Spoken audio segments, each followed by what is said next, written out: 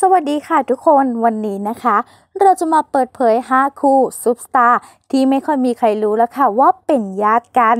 หลายๆ ครอบครัวของเมืองไทยเหล่านั้นมักมีหลายครอบครัวนะคะ ที่มีลูกหลายคน มีพี่น้องร่วมสายเลือดมากมายเลยทีเดียวจนนับสักกันแทบไม่ครบเลยละค่ะ เช่นเดียวกับเหล่าซุปตาของเมืองไทยที่มีหลายคนมากที่ใช้นามสกุลเดียวกัน มีศักดิ์ทางสายเลือดเดียวกันนั่นเองค่ะ แต่แน่นอนว่าก็มีชาวเน็ตหลายคนนะคะ ที่อาจจะไม่ค่อยรู้ว่าซุปตาคนไหนบ้างนั้นที่เป็นญาติกัน เอาเป็นว่าเราก็เลยรวบรวมมาให้ทุกคนได้ทราบกันละค่ะ อันดับที่ 1 ตั๊กและตูนสำหรับนักแสดงสาวตัวแม่อย่างสาวตั๊กบงกชและนักร้องหนุ่มขวัญใจชาวไทยอย่างหนุ่มตูนบอดี้สแลมที่ทั้งคู่นั้นใช้นามสกุลเดียวกันก็คือคงมาลัยนั่นเองค่ะ โดยทั้งคู่นั้นมีศักดิ์เป็นลูกพี่ลูกน้องกันนะคะ โดยหนุ่มตูนจะเป็นพี่ของสาวตั๊กนั่นเองค่ะ อีกทั้งยังเป็นหลานของแอดคาราบาวอีกด้วย เรียกได้ว่าเป็นตระกูลศิลปินกันเลยก็ว่าได้ค่ะ อันดับที่ 2 นะคะดีเจภูมิแล้วก็นท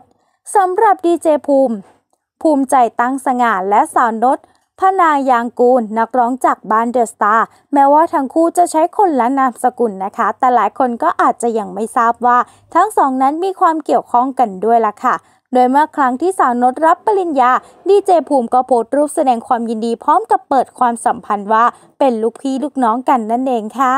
อันดับที่ 3เอและลูกนัดสำหรับนักแสดงหนุ่มที่ตอนนี้กำลังเป็นข่าวดังอย่างหนุ่มเอพสินกับนักร้องสาวตัวแม่อย่างสาวลูกนัดปนัดดา โดยทั้งคู่นั้นมีนามสกุลที่เหมือนกันก็คือ เรืองวุฒิละค่ะ จึงมีศักดิ์เป็นลูกพี่ลูกน้องกันนั่นเอง ชาวเน็ตอย่างเราแทบไม่เคยเห็นทั้งคู่นั้นแชะภาพร่วมกันบ่อยสักเท่าไหร่นะคะ เลยคิดไม่ถึงว่าความสัมพันธ์ที่เกี่ยวข้องกันเป็นญาติกันนั่นเองละค่ะ อันดับที่4ก๊อตและแพท มาถึงคิวของซุปตาขวัญใจชาวเน็ตอย่างหนุ่มก๊อตจิรายุกับสาวแพทนปภา ซึ่งทั้งคู่ใช้นามสกุลเดียวกันก็คือ ตันตระกูลนั่นเองค่ะทำให้ชาวเน็ตต่างพากันสงสัยนะคะว่า ทั้งคู่นั้นเป็นอะไรกัน งานนี้สาวแพทก็เคยออกมาเคลียร์ว่าเป็นพี่น้องทางสายเลือดคุณพ่อของทั้งสองนั้นเป็นพี่น้องกันละค่ะทำให้หนุ่มก๊อตจึงมีศักดิ์เป็นพี่ชายของสาวแพทนั่นเองแหละค่ะ